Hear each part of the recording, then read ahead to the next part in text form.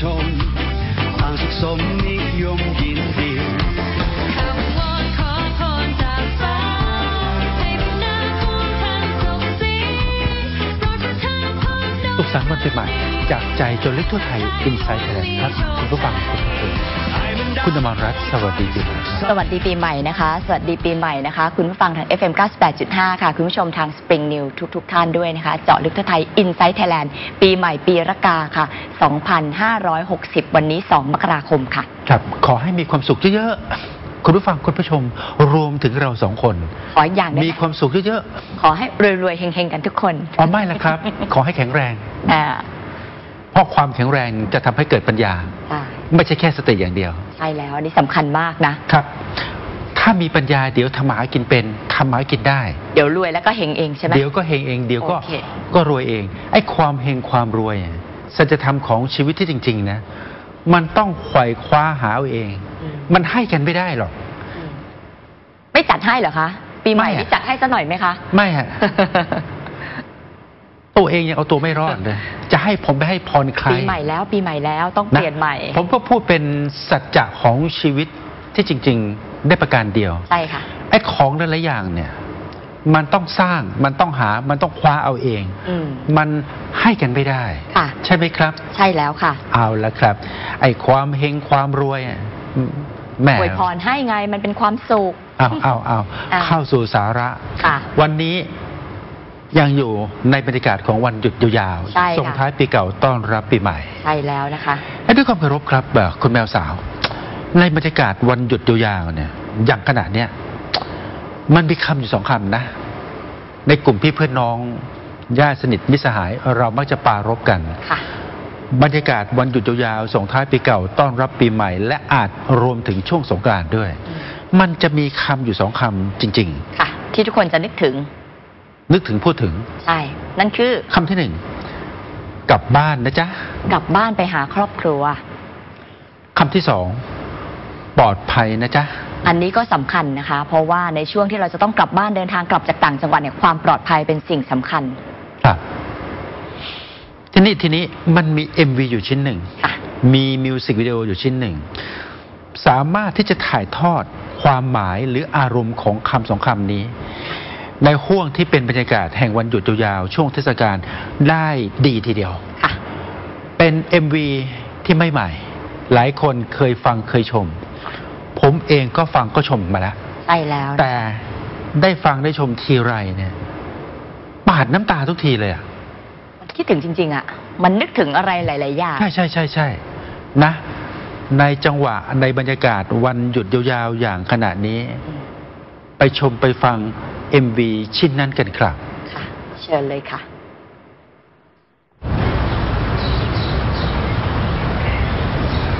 กลับมากินข้าวที่บ้านนะลูก พ่อเขาบ่นคิดถึงไว้เจอกันจ้า ครับ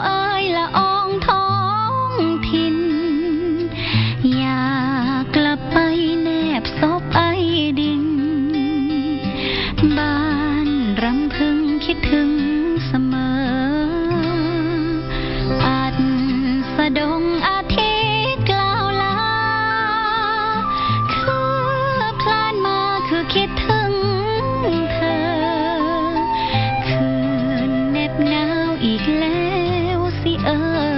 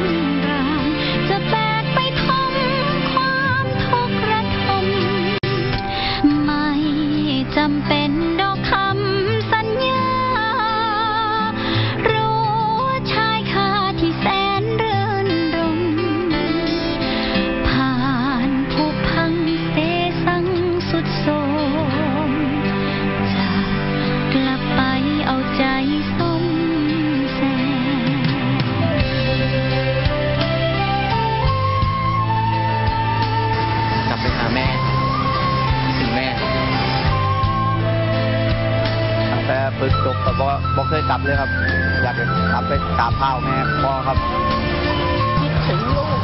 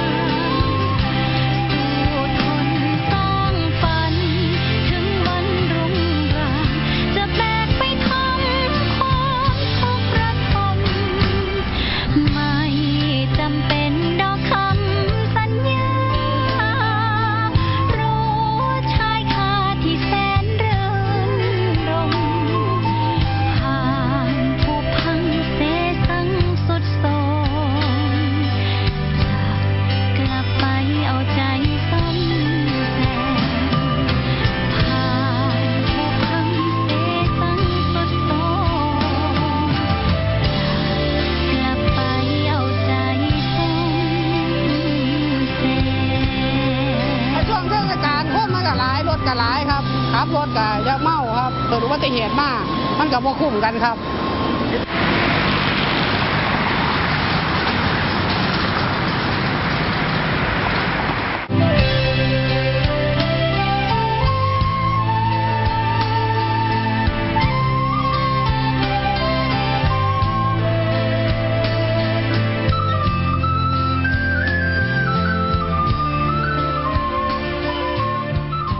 MV ชิ้นนี้ผลิตโดยกองทุนสสสค่ะขอบ พระคุณจริงๆนะครับ ใช่ค่ะ MV ชื่อว่าเพลชิ้นงนี้ อืมกลับมาที่คิดถึงบ้าน คิดถึงบ้าน ใช่ค่ะ พอได้ชมได้ฟังกันไป ต้องบอกว่าอารมณ์คิดถึงบ้านมาจริง ถ่ายทอดอารมณ์ของคำสองคำคำแรกก็คือกลับบ้านค่ะ คำที่สองก็คือปลอดภัย ๆค่ะ ได้สุดยอดเลยล่ะ ครบถ้วนจริงๆ เพราะว่าถ้าดู MV เนี่ยฉบฉบับเนี้ยจะเห็นว่าเขามีการสอดแทรกเรื่องของความปลอดภัยในการเดินทาง สวมหมวกกันน็อก ครับจะขับรถดูแลสุขภาพ ครับ อะไรต่างๆนี้แล้วก็ไม่ดื่ม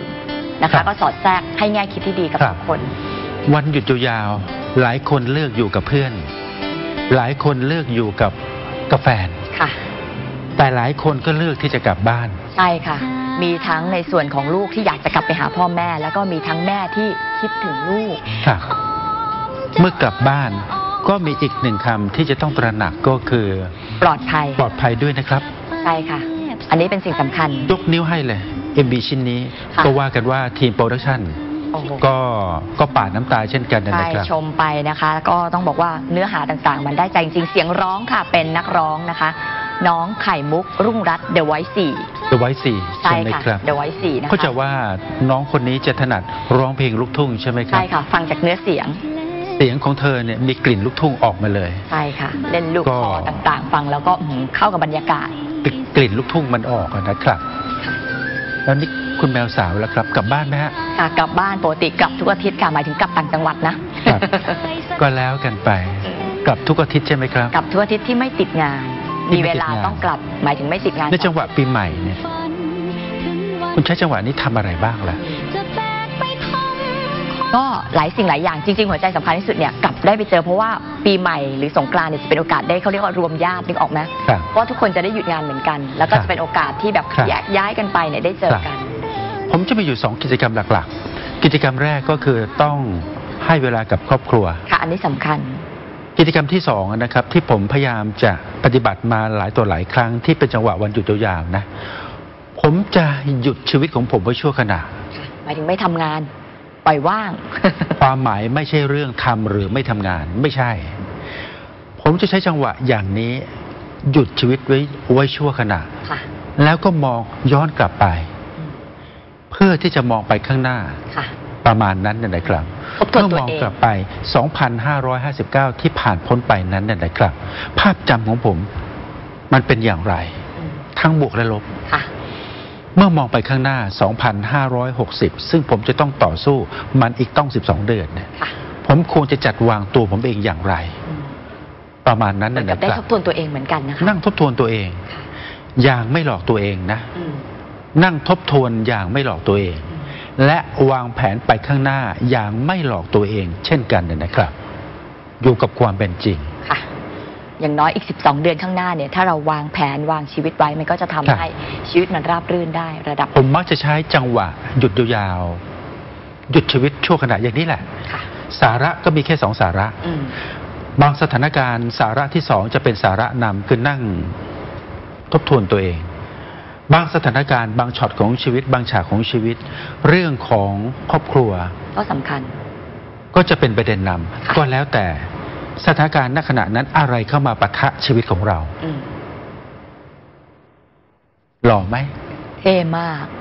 ปีใหม่แล้วโหยครับ ดูเท่ดูหล่อขึ้นเยอะ ดูภูมิฐาน ดูภูมิฐานนะค่ะ นะฮะภูมิฐานอยู่แล้ครัวบเราจะเบรกกันไว้ตรงนี้ ในช่วงหน้ามี MV อีกหนึ่ง MV บอกนิดหนึ่ง ทีม production ตั้งแต่โปรดิวเซอร์ ช่างกล้อง ช่างเสียงช่างไฟ ค่ะ นั่งร้องไห้เลยอืมนั่งร้องไห้กับ MV ตัวนี้จริง ๆ เป็น MV ชุดใหม่ ที่เพิ่งเผยแพร่เมื่อวันที่ 22 ธันวาคมที่ผ่านมา ใช่ค่ะปลายปีที่ผ่านมา ตั้งใจจะฝากให้กับทุกๆ คนได้ชม เอาละครับในช่วงหน้านะครับ ค่ะ ช่วงนี้ขออนุญาตไปพักกันก่อนนะคะ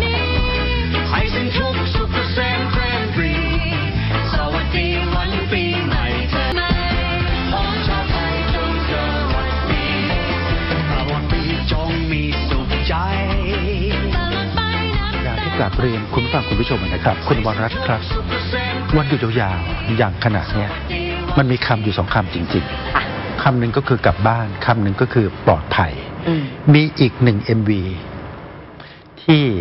ถ่ายทอดความรู้สึกของคำว่าปลอดภัย ได้ลึกสุดใจจริงๆนะครับ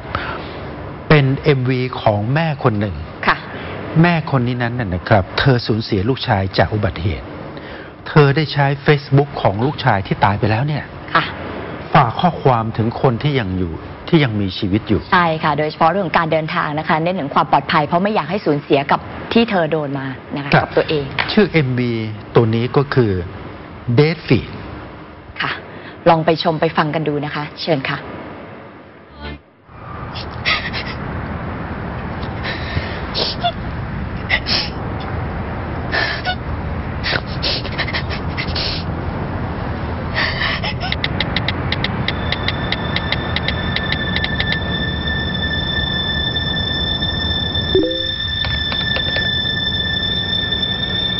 คือวันนั้นเนี่ยน้องอาร์มเขาไปบ้านเพื่อน แล้วจังหวะ ที่น้องอาร์มแซงไปทางด้านขวาเนี่ยก็มีรถเก๋งสวนมานะคะ และเขาก็ไม่ได้รัดเข็มขัดนิรภัยในวันนั้นนะคะ แล้วก็เสียชีวิต ไม่มีวันไหนที่ไม่คิดถึงเลยค่ะ จริงๆแล้วถามว่าขนาดนี้ทำใจได้ยังก็ยังนะ แค่จังหวะที่ผ่านมาตั้งแต่วันที่เราทราบว่าเขาเสียก็ก็ตั้งสติอะค่ะแต่ก็ไม่มีใครทำใจได้หรอกนาะคนเป็นแม่เนาะ มันเหมือนช่วงที่เขาจากไปใกล้จังหวะปีใหม่ มันเลยทำให้ช่วงปีใหม่ของเราตั้งแต่นั้นเป็นต้นมาเป็นช่วงปีใหม่ที่แบบหดหูมากๆ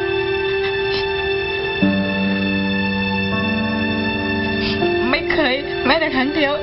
ที่เราอยู่บ้านแล้วเขาจะไม่เข้ามาในห้องนอนเราอะแล้วก็มากอดมามามาไปแล้วนะครับ ว่ามันจะเป็นการบอกครั้งสุดท้ายแล้วเขาไม่ได้กลับมาอีกเลย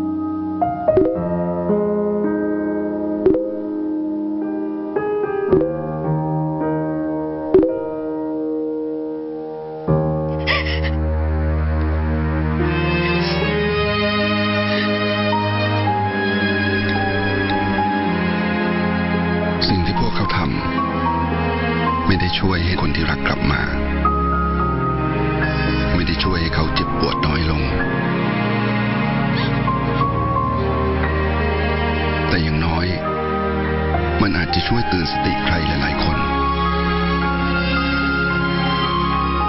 ให้เดินทางกลับบ้าน ไปหาคนที่เขารัก ได้อย่างปลอดภัย